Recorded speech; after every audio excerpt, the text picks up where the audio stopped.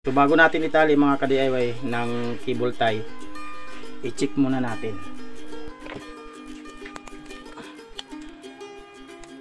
Mga ka-DIY, check na natin kung balance lahat. So magsimula tayo sa block.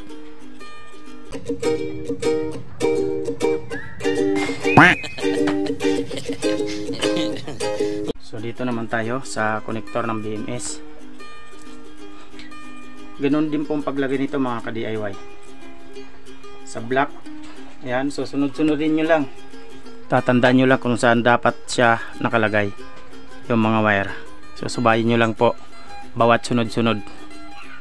Magsimula kayo sa itim, sa block. Sa ay, ito po yung block. Ayan. So dito po ito nakalagay.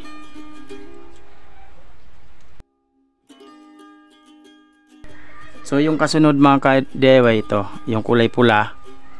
Ayan, sunod-sunod nyo lang. Hindi po kayo malilito.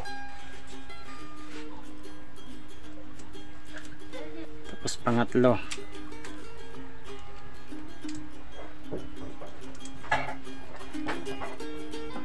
Pang-apat po. Ayan. Apat. Dapat siguraduhin para hindi magkamali double check nyo. Tapos yung panlima mga ka DIY yan. Dito po sa tapat po nitong white. Ito po yung white. Ayan o yung panglima white. So nakikita nyo ba? Dito po ito sa tapat ng white. Kung panlima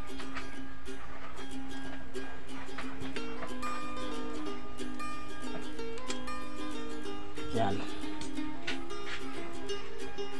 So yung pang-anim violet. So dito po ito. Check ulit natin. So yan.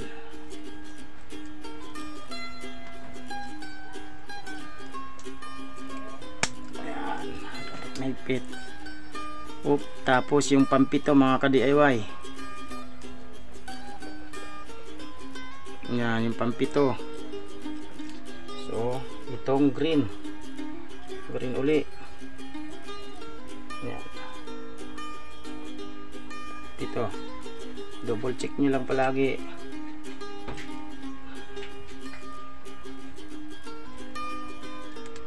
Yan.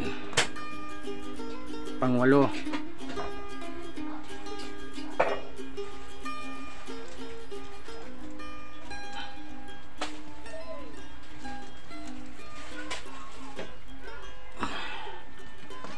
Tapos yung panlas sa pula na po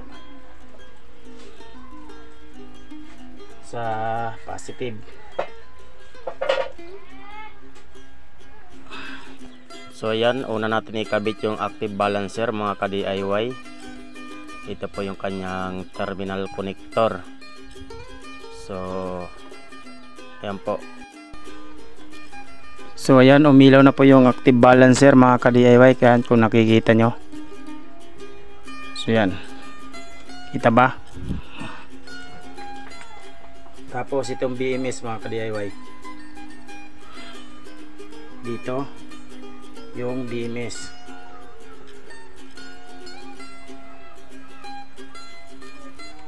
Ayan.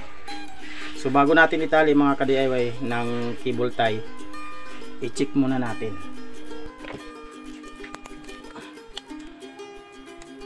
Mga ka-DIY, check na natin kung balance lahat. So magsimula tayo sa block. 3.27 3.27 3.27 tapos kasunod 3.27 3.27 3.27 volts. 3.27 volt. And last 3.27 so balance siya lahat mga ka-DIY so i-check naman natin yung voltage. Yung kanyang karga. So bali ito po mga ka-DIY ayan. Ito yung positive. Dito muna tayo oh ito yung negative tas ito yung positive. 26.2 so dito naman tayo sa ano ng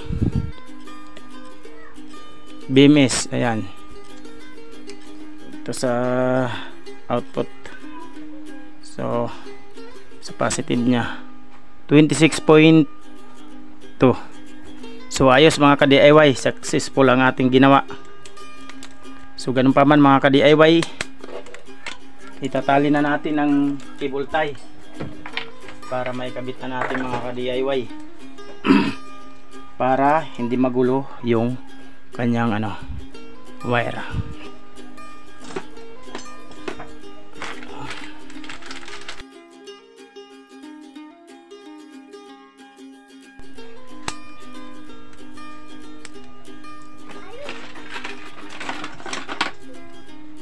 takpan na natin mga DIY yung kanyang terminal lang ganyan lang.